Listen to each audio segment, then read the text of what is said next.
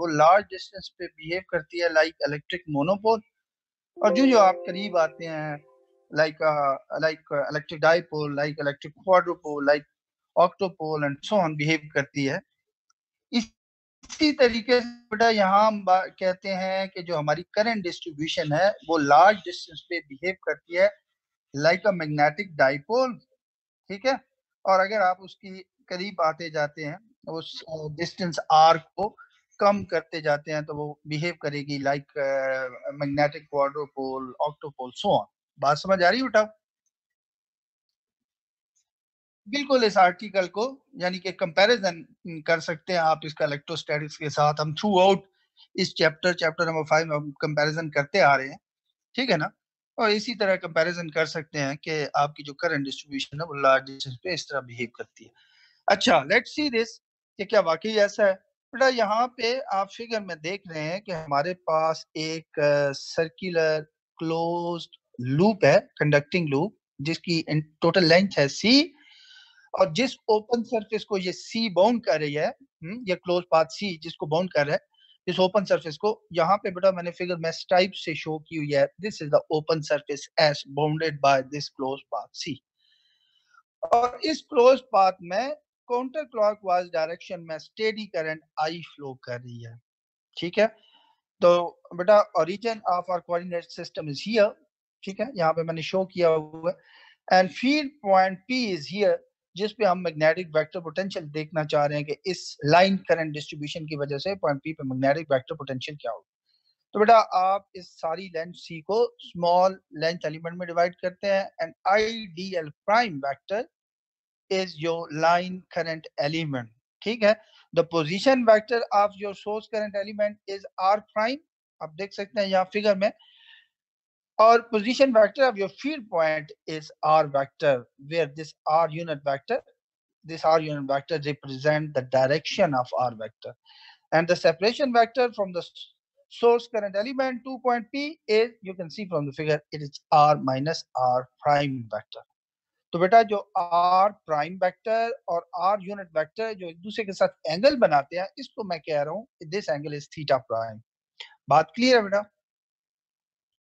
तो कल हमने बायोसोवर लॉ देखा था for magnetic vector potential due to line current तो बेटा uh, उसकी मदद से मैं पॉइंट पी पे इस लाइन करंट की वजह से मैग्नेटिक वेक्टर पोटेंशियल लिख सकता हूँ जो कि ये है।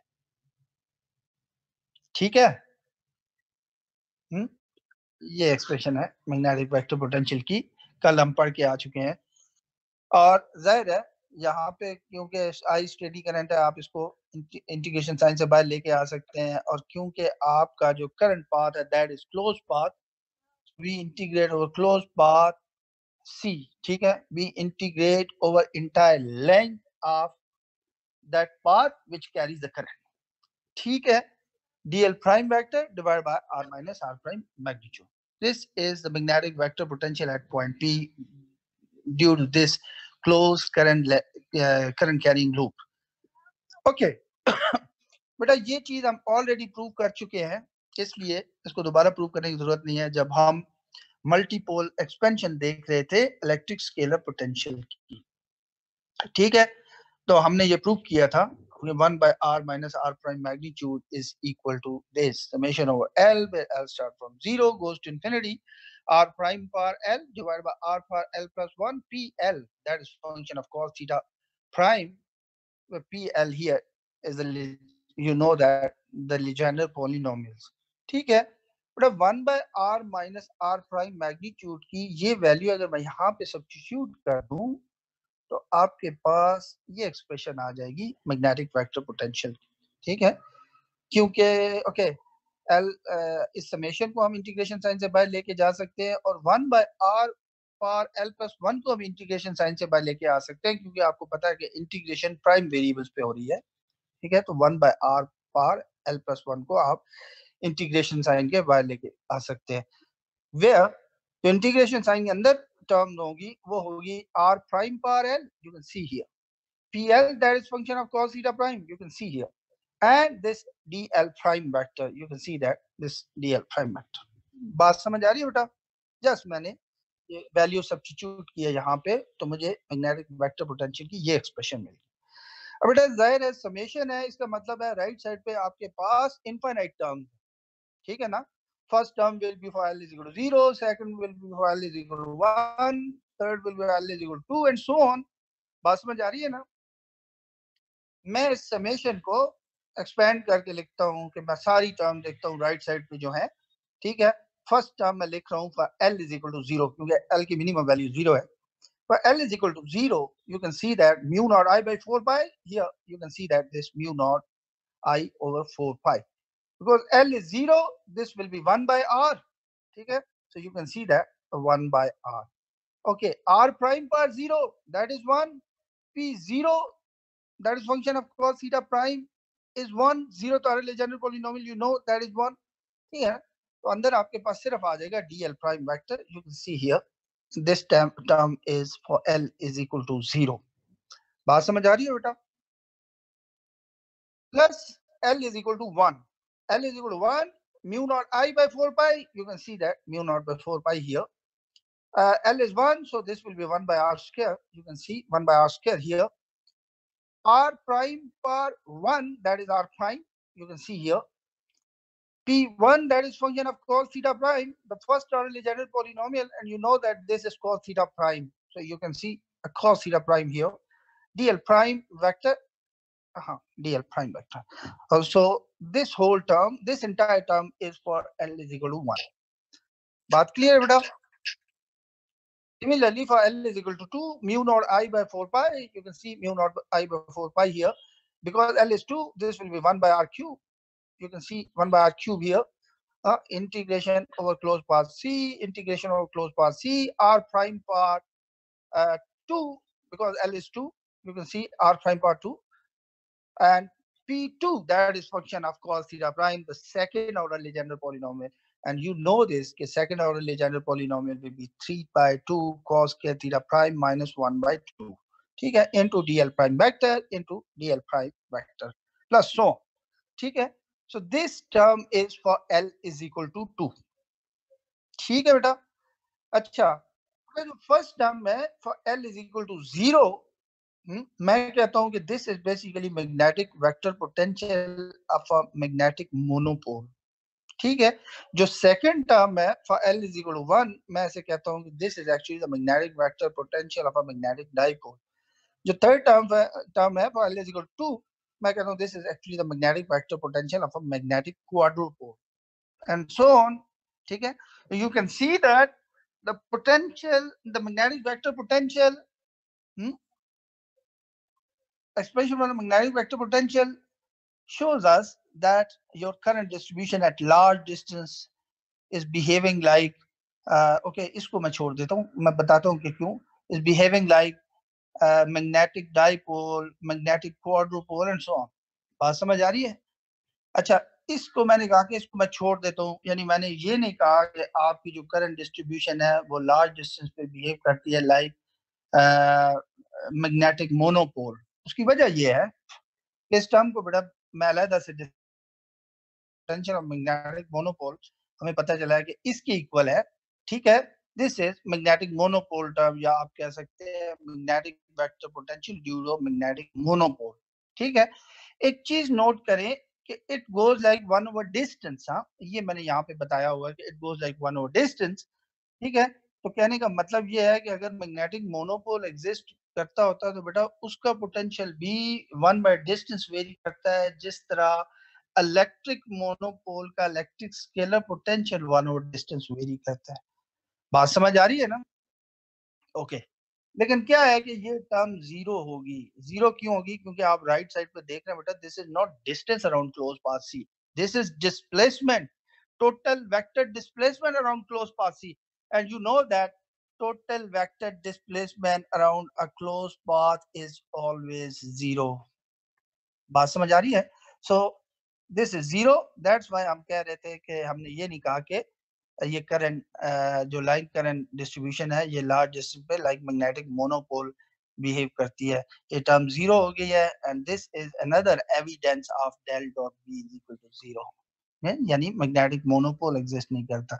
आइसोलेटेड नॉर्थ और isolated south does not exist बात समझ आ रही बेटा?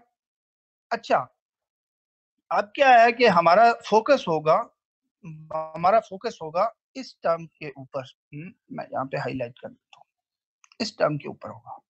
यानी दूसरे लफ्जों पे हम मैग्नेटिक वेक्टर पोटेंशियल डिस्कस करने जा रहे हैं ऑफ़ अ मैग्नेटिक डाइपोल ठीक है ना, हमारा इस टर्म पे फोकस होगा। ऑनवर्ड क्यों? उसकी वजह यह है कि जिस तरह बेटा आप पीछे देख के आए हैं कि इलेक्ट्रिक डाइपोल का इलेक्ट्रिक डाइपोल का एक इलेक्ट्रिक स्केलर पोटेंशियल होता है उसकी एक इलेक्ट्रिक फ़ील्ड भी होती है। बात समझ आ रही है? आपने देखा होगा हमने पीछे कैलकुलेट किया है कि पहले हमने इलेक्ट्रिक डाइपोल का पोटेंशियल कैलकुलेट कर लिया, फिर उसका नेगेटिव ग्रेडियंट लेके इलेक्ट्रिक डाइपोल की फ़ील्ड कैलकुलेट कर ली। तो बेटा उसी तरीके से मैग्नेटिक डाइपोल का एक मैग्नेटिक वेक्टर पोटेंशियल होता है जो के जो के ये है हम्म, जो कि ये है ठीक है? और ज़ाहिर है अगर हमें एक्सप्रेशन मिल गई मैग्नेटिक वेक्टर पोटेंशियल के मैग्नेटिक डाइपोल के मैग्नेटिक वेक्टर पोटेंशियल एक्सप्रेशन हम फाइंड कर लेते हैं तो ज़ाहिर है हम उसको कर लेंगे तो हमें एक मैग्नेटिक डाइपोल की मैग्नेटिक फ़ील्ड भी मिल जाएगी। बात समझ आ रही है बेटा? अच्छा तो डिस्कस तो हम इसे करेंगे। आप देखेंगे कि नेक्स्ट पेज पे मैं जो आपके साथ शेयर करूँगा टॉप पे यही एक्सप्रेशन होगी और इसी को हम डिस्कस करेंगे। लेकिन यहाँ पे थोड़ा सा मैं एक चीज़ बताना चाहता हूँ कि यहाँ हमने बात की मैग्नेटिक क्वाड्रूपोल ठीक है? तो ये जरा समझाने के लिए कि मैग्नेटिक क्वाड्रूपोल क्या है? बेसिक कॉन्सेप्ट आपका होना चाहिए कि मैग्नेटिक क्वाड्रूपोल क्या है? तो यहाँ पे मैंने नीचे फिगर बनाई है this is what you say magnetic quadrupole अगर चार बार मैग्नेट्स को इस अंदाज में रखा जाए तो दीज फोर बार मैग्नेट्स ठीक है give you a magnetic quadrupole ठीक है? और यहाँ पे मैंने अंदर इनकी मैग्नेटिक क्वाड्रूपोल की फ़ील्ड लाइन शो की हुई है, ठीक है? ये फील्ड लाइन समझना कोई मुश्किल नहीं है आपको पता है कि magnetic field line north pole से निकलती है और साउथ पोल में एंटर होती है so you can see here that magnetic field lines are coming out of the north pole and entering the south pole here you will observe the same leaving the north pole entering the south pole same here leaving the north pole entering the south pole and same here leaving the north pole and entering the south so these are magnetic field lines of a magnetic quadrupole बात समझ आ रही है बेटा? ठीक है? Okay next page share करूँ? Next page पे हम basically magnetic vector potential discuss करेंगे मैग्नेटिक डाइपोल का, ठीक है बेटा? बेटा, आप इसके ऊपर कुछ ना लिखे हम। अदरवाइज़ मैं आपको ये सहूलत फ्राहम नहीं करूँगा। मैं नहीं चाहता कि मैं रेस्ट्रिक्शन लगाऊँ ज़्यादा, ठीक है? ठीक है, बच्चों को थोड़ा सा फ्री हैंड दे दे, उन पर एतमाद किया जाए। लेकिन आप इस तरह करेंगे तो मैं आपका इस तरह लिखना ब्लॉक कर दूँगा। नेक्स्ट पेज है। नेक्स्ट पेज है ठीक? और आप देख रहे हैं कि वो जो एक्सप्रेशन में कह रहा था वो टॉप पे लिखी हुई है magnetic vector potential of a magnetic dipole ठीक है? ये वो एक्सप्रेशन और this is the dipole term ठीक है? और आप ये भी देख रहे हैं यहाँ से, ठीक है, कि it goes like one over distance क्या जो मैंने यहाँ पे शो किया हुआ है। इसलिए मैंने ये बताने की कोशिश की है कि it goes like one over distance क्या ताकि आप electric scalar potential of an electric dipole आप उसके साथ कंपेयर कर लें। जो रोल क्योंकि इलेक्ट्रोस्टैटिक्स में electric scalar potential of an electric dipole play करता है, वही रोल मैग्नेटोस्टैटिक्स में magnetic vector potential of a magnetic dipole play करता है। वो भी वन बाय डिस्टेंस के वेरी करता है, ये भी वन ओवर डिस्टेंस वेरी कर रहा है। बात समझ आ रही है बेटा? पीछे अगर आप फिगर की बात करें तो बेटा, यहाँ पे इस इंटेग्रल के अंदर जो R prime cos theta prime है, इसको मैं लिख सकता हूँ R unit vector dot R prime vector ठीक है? आपको पता है कि magnitude of the first vector that will be one magnitude of the second vector that is R prime and it cos of the angle between them और आपको पता है कि आर यूनिट वेक्टर और आर प्राइम वेक्टर के दरमियान जो angle है, पीछे हमने शो किया हुआ है कि that is theta prime so cos theta prime तो R prime cos theta prime को मैं लिख सकता हूँ। R unit vector dot R prime vector बात क्लियर है बेटा? हाँ नेक्स्ट स्टेप में मैंने ये किया है कि आपको पता है कि ये जो R prime R unit vector है, इसको मैं लिख सकता हूँ R vector divide by its magnitude है ना? तो मैंने इसको सिंपली आर यूनिट वेक्टर को लिख दिया R vector divide by magnitude ठीक है? तो समझ आती है कि ये मैंने कैसे लिखा है क्लियर है? हाँ बेटा ये value R prime cos theta prime की, ये वैल्यू यहाँ पे सब्स्टिट्यूट कर दें ठीक है? अगर आप सब्स्टिट्यूट करते हैं तो आपके पास मैग्नेटिक वेक्टर पोटेंशियल की ये एक्सप्रेशन आ जाएगी। ये एक्सप्रेशन आ जाएगी। ऐसे ही है। ठीक है?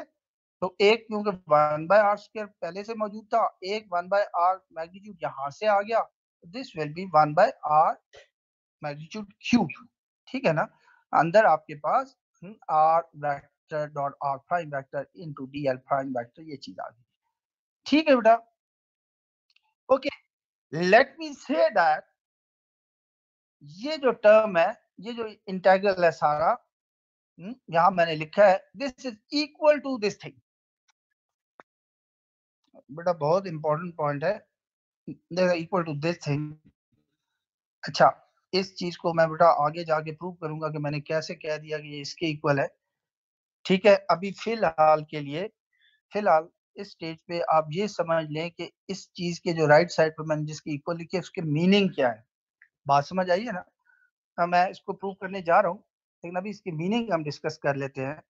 बेटा मैं कहता हूँ कि ये जो है D A prime vector over the open surface S you know that S is the open surface bounded by this close path C ठीक है?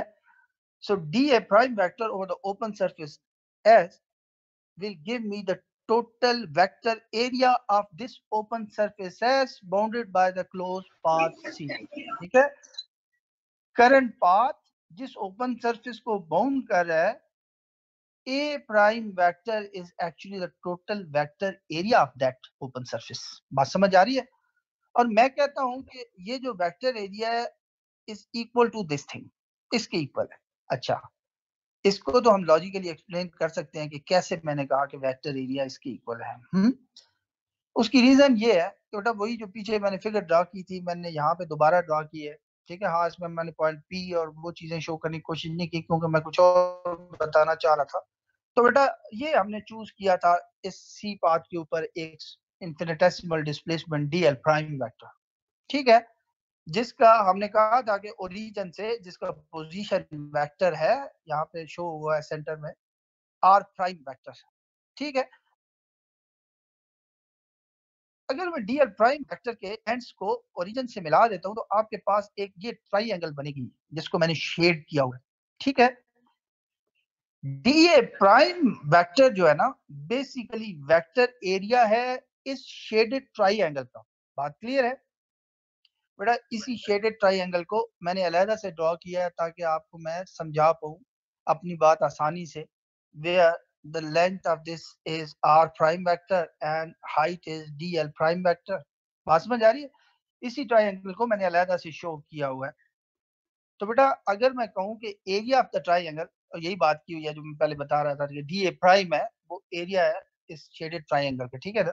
So area of the triangle is D A prime vector and that will be equal to बेटा अभी vector ये vector और cross को भूल जाएँ, हम बात करते हैं कि आपने ऐसा छोटी क्लास में पढ़ा हुआ है कि area of triangle is equal to one by two base into height बात समझ आ रही है ना? कोई मुश्किल तो नहीं है? हाँ one by two base into height this is what you say area of the triangle class two three four में कहीं पढ़ा होगा। Okay okay. अब क्या है बेटा कि मैं तो मुझे ज़ाहिर है, इतना आपको पता है कि one by two R prime magnitude and D L prime magnitude will be the area of this triangle लेकिन आपने देखो अगर मैंने वेक्टर फॉर्म में लिखा है, उसकी वजह ये है कि बेटा लेफ़्ट साइड पे आपके पास वेक्टर एरिया है इस ट्रायंगल ठीक है? सो so इसीलिए मुझे यहाँ पे आर प्राइम लेंथ यूज़ करने की बजाय आर प्राइम वेक्टर और इसे D L prime length show करने की बजाय डी एल प्राइम वेक्टर से रिप्रेजेंट करना पड़ेगा। बात समझ रही है बिकॉज़ लेफ़्ट साइड पे वेक्टर एरिया की हम बात करें अच्छा बेटा अब ये क्रॉस मैंने लगाया है तो क्रॉस क्यों लगाया आपको पता है कि दो वेक्टर्स इस तरीके से मल्टीप्लाई नहीं हो सकते, या आप उनका डॉट लेते हैं या क्रॉस लेते हैं। तो बेटा अगर मैं डॉट लूँ तो फिर तो राइट साइड पे स्केलर क्वांटिटी आ जाएगी। ठीक है ना? लेफ़्ट साइड पे you have a vector quantity ठीक है? इन डॉट लेने से this will not the vector area this will be the scalar area ठीक है ना? सो दैट्स व्हाई डेफिनेटली आपको पता है कि आपको क्रॉस लेना पड़ेगा, क्योंकि क्रॉस दो वेक्टर्स का आपको वेक्टर क्वांटिटी देता है, ठीक है? तो फिर लेफ़्ट साइड पे भी वेक्टर एरिया है तो फिर बिल्कुल ठीक होगा अगर हम यहाँ पे क्रॉस सब्सटीट्यूट करते हैं। बात समझ आ रही है? ठीक है ना? इसकी लॉजिक समझ आ गई? और अब ये जो डी ए प्राइम है, ये सिर्फ़ इस ट्राइंगल शेडेड ट्राइंगल का एरिया है अगर बेटा सारी ओपन सरफेस का हम एरिया फाइंड करना चाहें तो आप देख रहे हैं कि integration d l prime length पे है। तो ज़ाहिर बात है, मुझे होल क्लोज पाथ सी पे इंटीग्रेट करना होगा to get the total area of this open surface bounded by this close path c बात क्लियर है बेटा? तो समझ आती है कि ये जो मैंने लिखा a prime is equal to this a prime vector is equal to this बात क्लियर है? लॉजिकली ठीक है ना? अच्छा ओके। अब इस चीज़ को समझने के लिए मैंने एक एग्जांपल दिया है कि ताकि बात बिल्कुल क्लियर हो जाए आपको कि जो हम कह रहे हैं, क्योंकि ये तो जरा वेट शेप थी, इसका एरिया आपको ऐसे याद नहीं होगा, मैं ऐसी एग्जांपल चूज़ कर रहा हूँ जिसका एरिया आप फ़ौरन से बता सके कि क्या होगा बेटा, इस तरह के लूप की बजाय मैं कहता हूँ कि करंट लूप मेरा सर्क्यूलर है, जिसका रेडियस कैपिटल आर है और बिल्कुल इस, यही सारी मैंने नोटेशन यही यूज़ किया है कि स्टेडी करंट फ्लो कर रही है वो भी काउंटर क्लॉकवाइज डायरेक्शन में। ठीक है? और z is you can see here at the centre circle लगा के मैं डॉट लगाया z is out of this white paper ठीक है? C is the total length of this circular current loop s is the open surface shaded हाँ open surface bounded by this close circular path c ठीक है? L prime मैंने लिया इसके ऊपर। Counter में भी पॉइंट कर रहे हैं। R prime is the position vector of that d l prime ठीक है ना? और डी एल प्राइम वेक्टर के एंड्स को अगर मैं सेंटर से मिला देता हूँ तो ये मेरे पास एक शेडेड ट्राइंगल आती है, जिसका एरिया मैं कहता हूँ डी ए प्राइम है डी ए प्राइम वेक्टर ठीक है? इस सर्कल को बेटा मैंने इस तरीके से रख के आपको दिखाने की कोशिश की है हाँ? इसको यानी आप फ्लैट स्क्रीन पे आप इसका नीचे वाला पोर्शन अगर अपनी तरफ़ कर दें, ठीक है?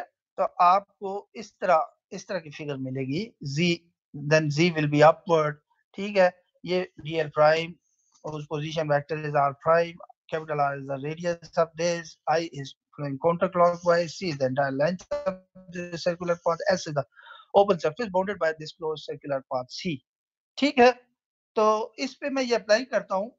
ये कि मैं कहता हूँ कि ये अगर मैं अप्लाई करता हूँ तो it will give me the total area of this open surface s bounded by c तो बेटा ये मैंने अप्लाई किया इक्वेशन और आप फिगर से देख सकते हैं कि r prime vector r prime vector will be equal to the magnitude and the direction magnitude will be the radius of this circle capital R and direction will be the radial direction r unit vector ठीक है ना? Cross cross you can see cross here. Dl prime vector, you can see that dl prime vector the magnitude will be the arc length capital R d5 okay and it is because it is pointing in the counterclockwise direction mean that is the positive phi direction. So dl prime vector will be capital R d5 into phi unit vector. samajh capital R into capital R will give you capital R square and that is constant. I can take it out of the integration sign. Here R square is taken out of the integration sign. Okay, बेटा next चीज़ है R unit vector cross phi unit vector. बेटा बिल्कुल rule जिस तरह का हमने use किया था मैग्नेटिक फ़ील्ड सर्कुलर लूप ठीक है? उसमें हमने कार्टेशियन और सिलेंड्रिकल कोऑर्डिनेट का कंपैरिजन किया था। बिल्कुल क्योंकि स्फेरिकल कोऑर्डिनेट सिस्टम भी और ऑर्थोगोनल कोऑर्डिनेट सिस्टम है। तो ये जो r unit vector cross phi unit vector है सॉरी ये तो हम सिलेंड्रिकल कोऑर्डिनेट यहाँ पे यूज़ कर रहे हैं। हाँ सर, आपके पास सर्कुलर पाथ है।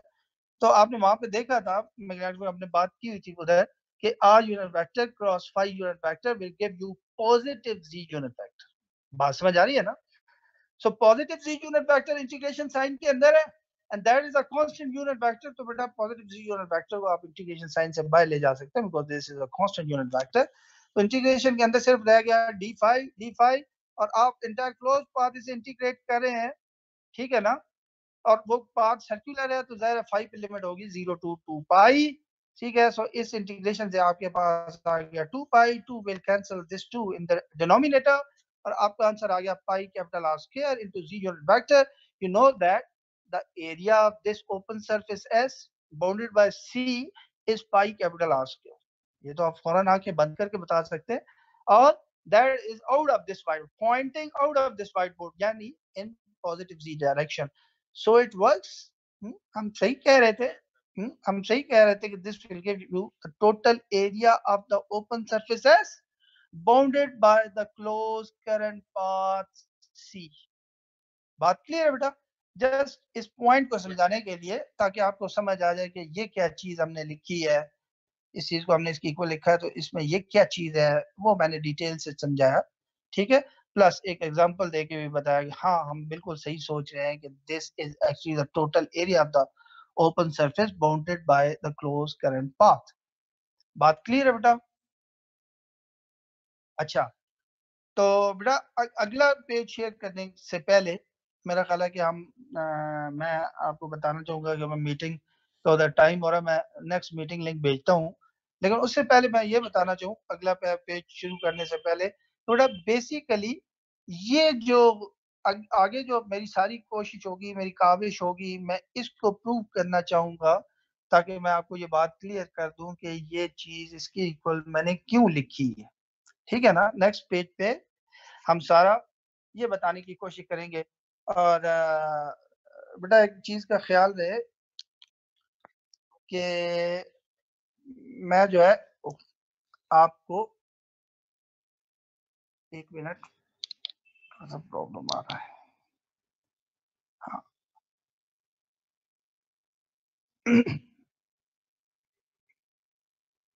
हम्म,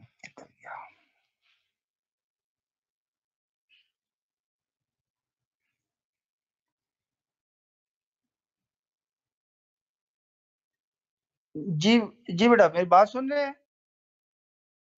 जी, मैं बेटा मीटिंग एंड करके ना नेक्स्ट लिंक आपको भेजने लगा हूँ। आप मेरे साथ रहिएगा कहीं जाइएगा मत।